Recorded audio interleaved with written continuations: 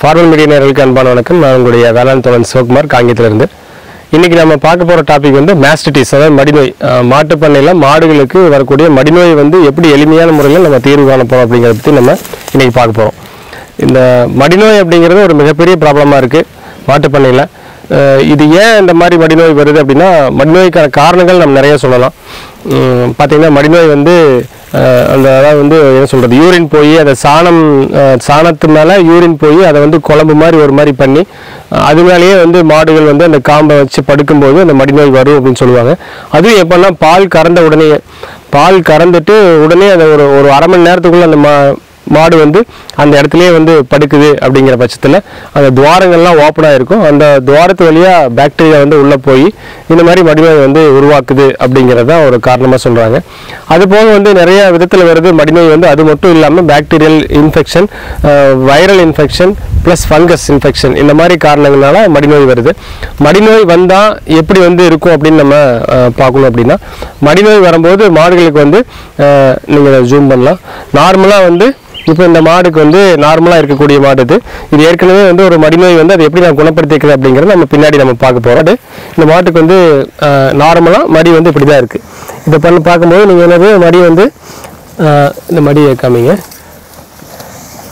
நார்மலாக ஒரே ஸ்கொயர் ஷேப்பில் இருக்குது ப்ராப்ளம் இல்லாமல் இருக்குது அப்போது இதை வந்து நீங்கள் ப்ரெஸ் பண்ணும்போது மாடு வந்து எந்த பிரச்சனையும் இல்லாமல் அமைதியாக நிற்கும் வந்து இதில் வீக்கமோ எதுவும் இல்லை.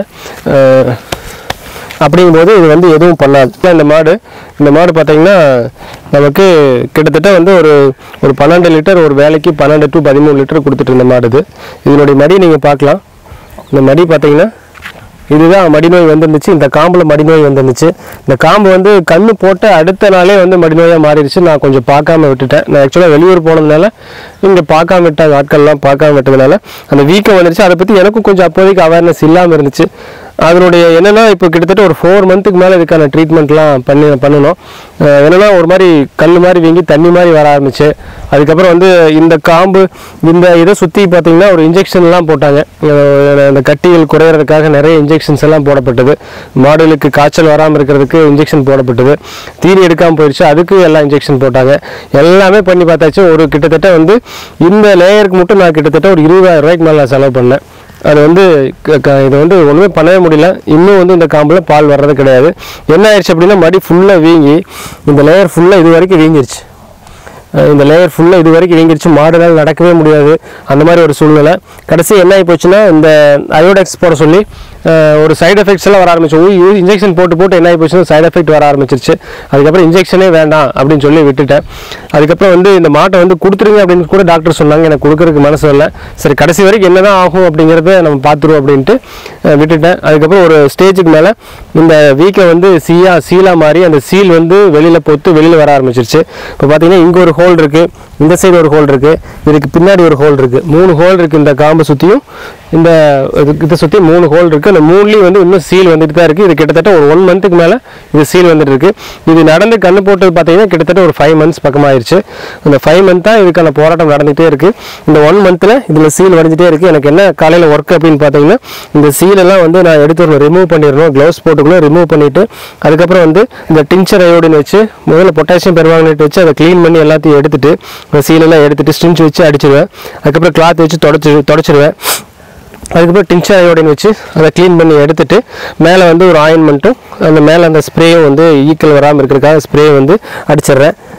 அதனால் வந்து இப்போ ஓரளவுக்கு பார்த்தீங்கன்னா அது புண் வந்து ஆறிக்கிட்டே வருது அதோடைய வீக்கம் குறைஞ்சிட்டே வருது. ஆனால் அந்த காம்பில் நான் பால் எடுக்கிறது அப்படிங்கிறது தொண்ணூறு சதவீதம் பாசிபிலிட்டி ரொம்ப குறைவு தான் மேபி சினை பருவத்தில் அந்த ஹார்மோன்லாம் வந்து திருப்பி சுரக்க ஆரம்பித்து அதனுடைய லேயர் ஏதாவது வந்து அந்த நரம்புகள்லாம் திருப்பி ரீஜென்ரேட் ஆகி வந்தால் தான் இந்த காம்பில் பால் வரும். இல்லைங்கிற பட்சத்தில் இந்த பால் வந்து வரவே வராது. ஸோ இது ஒரு பெரிய ஒரு ட்ராபேக் மாடுகளுக்கு. இந்த மாட்டு மேஸ்டிடிஸ் அப்படிங்கிறது ஒரு மிகப்பெரிய ப்ராப்ளம் இது. நமக்கு இதை பற்றி தெரியாது. இன்னும் நம்ம வந்து கவனிக்காமையே விட்டுருந்தோம் அப்படின்னு மாட்டுக்கு வந்து உயிரிழப்பு கூட நடந்திருக்கலாம்.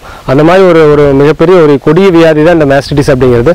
இதை வந்து நம்ம எப்படி தடுக்கலாம் அப்படிங்கிறத நம்ம பார்க்க போகிறோம் நானும் நிறைய வந்து முதல்ல என்ன பண்ணுவேன்னா இந்த காம்பில் இன்ஜெக்ஷன் போடுவேன். அதுக்கப்புறம் நிறைய ஸ்ப்ரே பண்ணுவேன். டாக்டர் கூப்பிடுவேன். டாக்டர் வந்தோடனே பார்த்தீங்கன்னா இந்த ஸ்ப்ரே நம்ம நிறைய இதில் நம்ம கேள்விப்பட்டிருப்போம். இந்த மடிநோய் வந்ததுன்னா ஆறு மணி நேரத்தில் டாக்டர் கூப்பிட்டு ட்ரீட்மெண்ட் எடுக்கணும் அப்படின்னு சொல்லுவாங்க. அதே மாதிரி டாக்டர் கூப்பிடுவேன். அவங்க வந்து இன்ஜெக்ஷன் பண்ணுவாங்க. உடம்புல இன்ஜெக்ஷன் பண்ணுவாங்க காய்ச்சல் வராமல் இருக்கிறதுக்கு பால் குறையிறதுக்காக இன்ஜெக்ஷன் பண்ணுவாங்க. அதுக்கப்புறம் வந்து ஏன்னா பால் நிறைய உற்பத்தி ஆக ஆக திருப்பி பாக்டீரியா வந்து இன்னும் நிறையா ஃபார்ம் ஆயிரும் அப்படிங்கிறதுக்காக இன்ஜெக்ஷன் பண்ணுவாங்க. அதுக்கப்புறம் இந்த இந்த மடியில் வந்து இந்த பாலை வந்து கறந்து விட்டுக்கிட்டே இருக்க சொல்லுவாங்க. அந்த டியூப் அடிச்சுட்டே இருக்க சொல்லுவாங்க. மூணு நேரத்துக்கு ஒருக்கா அந்த டியூப் அடிக்க சொல்லுவாங்க. அஹ் என்னன்னா நம்ம கடையில் கிடைக்கும். அந்த டியூப் மேசிட்டிஸ் டியூப் இருக்கும். அந்த டியூப் வந்து அதில் மருந்து இருக்கும். பாக்டீரியா வந்து க்ளீப் பண்ணுற மாதிரி பே- மருந்து இருக்கும். அதை வாங்கி அந்த காம்பில் வந்து உள்ளே செருகி டீப்பாக அதை வந்து மேலே ப்ரெஸ் பண்ணி விட்டு அடிக்க சொல்லுவாங்க. ஸோ இதெல்லாம் நம்ம பண்ணினாலும் காஸ்ட் நமக்கு செலவாகிறது பார்த்தீங்க அப்படின்னா அந்த மேஸ்டிஸ் வந்து குறைந்தபட்சம் ஒரு ஐயாயிரம் நமக்கு செலவு பண்ண வேண்டியது வந்து ரெடி பண்ணுறதுக்கு ஸோ இதையெல்லாம் நம்ம பார்க்கும்போது மாட்டுப்பண்ணையில் தோல்வி அப்படிங்கிறது கண்டிப்பாக வந்துடும் ஒரு மாட்டுக்கு ஐயாயிரம் ரூபா நமக்கு வருது அப்படிங்கிற பட்சத்தில் செலவு வருது அப்படின்னா நம்ம எப்படி லாபத்தை பார்க்க முடியும்? கண்டிப்பாக ஒரு தோல்வியில் வந்துடும் அப்படிங்கிறக்காக ஸோ இதுக்கு என்னதான் சிறந்த வழி அப்படின்ட்டு நான் முன்னாடியே ஒரு வீடியோ போட்டிருந்தேன். இந்த மாதிரி மா மேஸ்ட்ரிஸ் வந்து ஒரு பெரிய ப்ராப்ளமாக இருக்குது அப்படின்னு சொல்லிட்டு நான் சொல்லியிருந்தேன். அந்த அதை வந்து நம்மளுடைய சப்ஸ்கிரைபர் நம்ம former media subscriber mister Anand sir வந்து எங்கள் கன்னியாகுமரியிலேருந்து நமக்கு ஃபோன் பண்ணார். இதுக்கு வந்து நான் ஒரு ட்ரீட்மெண்ட் பண்ணிகிட்டு இருக்கேன். அது வந்து ஓரளவுக்கு பரவாயில்ல. நீங்கள் பண்ணி பாருங்கள் அப்படின்னு சொன்னார். அதுக்கப்புறம் அந்த ட்ரீட்மெண்ட் அவர்கிட்ட இருந்து கேட்டு வாங்கி நான் பண்ணி பார்க்கணும். ஏன்னா எல்லாத்துக்கும் சொல்கிறதுக்கு முன்னாடி நம்ம ப்ராக்டிக்கலாக அதை பண்ணி பார்த்தோம் அப்படின்னா கண்டிப்பாக வந்து அது சக்ஸஸ்ஃபுல்லாக இருக்கும் அப்படிங்கிறக்காக ஸோ அதை நான் பண்ணி பார்த்தேன். அந்த வந்து கண்டிப்பாக நூறு சதவீதம் வந்து எனக்கு திருப்தியாக இருந்துச்சு. அது கண்டிப்பாக அந்த மேஸ்டிஸ் வந்து குணப்படுத்திச்சு. ஒரே நாளில் அந்த மேஸ்டிஸ் இருக்கிற இடமே இல்லாமல் தெரியாமல் போயிடுச்சு அந்த அளவுக்கு ஒரு சிறந்த ஒரு வைத்தியம். அதை தான் நான் இப்போ சொல்ல போகிறேன் கண்டிப்பாக இது வந்து மாட்டுப் பணியாளர்களுக்கு நூறு சதவீதம் யூஸ்ஃபுல்லாக இருக்கும். கண்டிப்பாக இதை பண்ணுங்கள் நூறு சதவீதம் வந்து நம்ம மாட்டுப் பணியில் ஜெயிக்க முடியும். மேஸ்டிட்டிஸ் அப்படிங்கிறது ஒரு பெரிய வியாதியே கிடையாது. நான் எப்படி இந்த த படிகாரங்களை வச்சு குணப்படுத்துகிறேன் அப்படிங்கிறத இப்போ நம்ம பார்க்க போகிறோம் இப்போ நம்ம இது மாடு பார்த்தீங்க அப்படின்னா இதில் மடி பார்த்தீங்கன்னா ஒரு சைடு வீங்கியிருக்கிறது உங்களுக்கே தெளிவாக தெரியும். நல்லாவே வீங்கியிருக்கு. கல் மாதிரி வீங்கியிருக்கு. இதாக பாருங்கள் கல் மாதிரி வீங்கியிருக்கு. அந்த ஒரு சைடு மட்டும். மற்றதெல்லாம் நார்மலாக இருக்குது இப்போ பால் கறந்தாச்சு. கறந்ததுக்கப்புறம் இது வீங்கியிருக்கு. ஸோ இந்த வீக்கத்தில் நம்ம என்ன பண்ணணும் அப்படின்னா நீங்கள் வந்து அந்த மாட்டை தொட்டு பார்க்கணும். அந்த அந்த இடத்த வந்து லேயரை தொட்டு பார்த்தீங்க அப்படின்னா அது உதைக்கும். உதைச்சதுன்னா கண்டிப்பாக வந்து அது மடிநோய் தான். கொஞ்சம் நல்லாவே இறுக்கமாகவே வீங்கியிருக்கும். ஸோ அப்போ மடிநோய் அப்படிங்கிறத நம்ம அண்டர்ஸ்டாண்ட் பண்ணிக்கலாம். இப்போ நம்ம என்ன பண்ணலாம் அப்படின்னா நம்ம ஃபஸ்ட்டு எடுத்தோன்னே என்ன பண்ணணும் அந்த அந்த பாலை வந்து ஃபுல்லாக கறந்து விட்டுட்டு அந்த அந்த மடிநோய் வந்து அந்த காம்பில் எல்லாத்தையும் நம்ம ஃபுல்லாக பாலை ஒரு சொட்டு பாக்கிலாம் ஃபுல்லாக அழுத்தி அழுத்தி நீங்கள் கறந்து விட்டுறணும். கறந்ததுக்கப்புறமா என்ன பண்ணோம்னா ஒரு ஒரு டியூப் அந்த பேக்டீரியா இந்த இன்ஃபெக்ஷன் வந்து கொள்ளக்கூடிய ஒரு டியூப் வந்து நார்மலாக மேஸ்டிஸ் டியூப் விற்கும் கடையில் நீங்கள் மெடிக்கலில் வாங்கி அதை வந்து இன்சர்ட் பண்ணிடணும். உள்ளே இன்சர்ட் பண்ணி அந்த காம்பு தளவு காம்பை பிடிச்சிட்டு மற்றதெல்லாம் வந்து அந்த மருந்து உள்ளே போகிற மாதிரி நீங்கள் நல்லா ப்ரெஸ் பண்ணி விட்டுருங்க. இது எதுக்குன்னா ஆரம்ப கட்டத்தில் மடிநோய் வந்து ஃபுல்லாக ஸ்ப்ரெட் ஆகிறதுக்கு முன்னாடி அதாவது நம்ம வந்து படியாருக்கள் ஊற்றினா அது வந்து ஒரு மணி நேரம் ஆயிரம் அது வேலை செய்யறதுக்கு.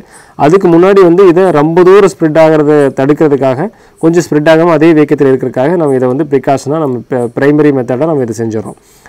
நம்ம நான் முன்னாடி பார்த்தது அந்த படிகாரக்கல் அந்த படிகாரக்கல் வந்து நூறு கிராம் எடுத்துக்கிறோம். பொடி பண்ணுனா படிகாரக்கல் வந்து நூறு கிராம் போட்டுக்கிறோம்.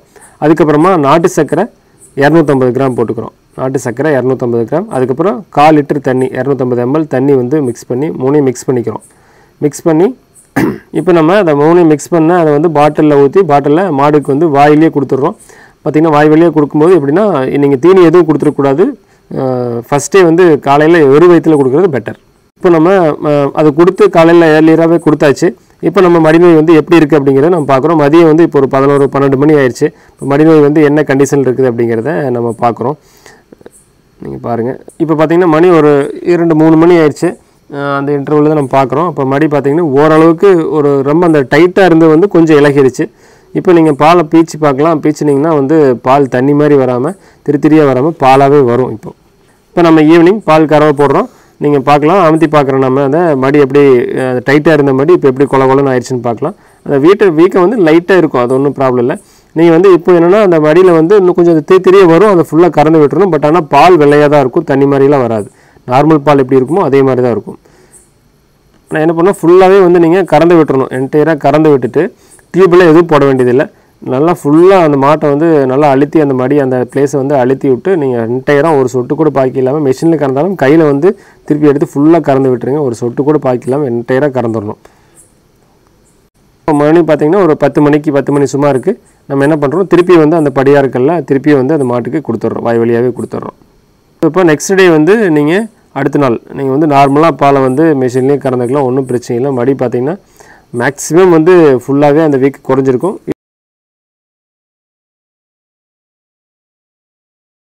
மாதிரி எப்படி இந்த படியார்கள் வந்து இதை குணப்படுத்து அப்படின்னா இந்த படியார்களுக்கு வந்து கிருமி நாசினியே யூஸ் பண்ணுவாங்க. இப்போ கொரோனா இதில் கூட நீங்கள் கேள்விப்பட்டிருக்கலாம். இந்த படியார்களில் வந்து நம்ம ஒரு தண்ணியை தண்ணி ஊற்றி அதில் வந்து கை கழுவணும் அப்படின்னா அந்த பாக்டீரியா வந்து வைரஸ் எல்லாம் போயிடும் அப்படிங்கிற மாதிரி நம்ம நிறைய வீடியோக்கள்லாம் வந்துச்சு.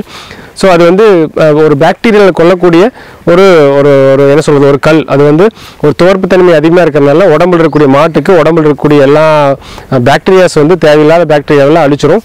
தேவையான பாக்டீரியாவெல்லாம் வச்சுக்கும். வேறு எந்த சைடு எஃபெக்ட்டும் கொடுக்கறதில்ல. நான் இதை ப்ராக்டிக்கலாக கிட்டத்தட்ட வந்து நான் ஒரு பத்து தடவை யூஸ் பண்ணிட்ட மாடுகளுக்கு வேறு எதுவுமே நான் பண்ணுறது கிடையாது. ஸோ இது வந்து நூறு சதவீதம் கண்டிப்பாக மாட்டுப்பண்ணையில் இந்த மேஸ்டிட்டிஸ் வந்து மடிநோயை குணப்படுத்த முடியும். அதனால இனிமேல் மாட்டுப்பண்ணையில் வந்து மடிநோயினால் லாஸ் ஆயிடுச்சு அப்படின்னு யாருமே இனிமேல் சொல்ல வேண்டியது கிடையாது. நூறு சதவீதம் ஜெயிக்கலாம். மடிநோய்க்கு வந்து ஒரு மிகப்பெரிய ஒரு தீர்வு இதுதான்.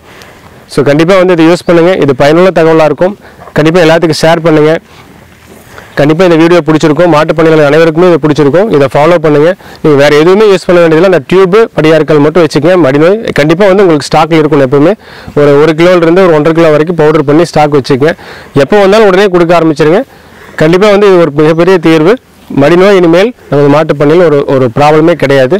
கண்டிப்பாக இந்த வீடியோ பிடிச்சிருந்ததுன்னா சப்ஸ்கிரைப் பண்ணுங்கள் ஷேர் பண்ணுங்கள் லைக் பண்ணுங்கள் கண்டிப்பாக பெல் பட்டனை ப்ரெஸ் பண்ண மறந்துடாதீங்க. நன்றி வணக்கம்.